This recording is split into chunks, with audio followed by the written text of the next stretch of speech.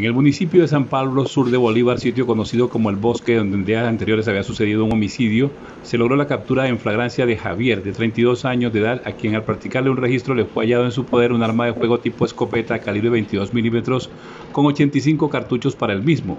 El elemento iba transportado en un costal. El capturado fue dejado a disposición de la Fiscalía General de la Nación por el delito de porte ilegal de armas de fuego, donde un juez de la República le definirá su situación jurídica. Ha dicho la policía que con estas actuaciones se demuestra su compromiso en mantener la tranquilidad de los habitantes de esta región.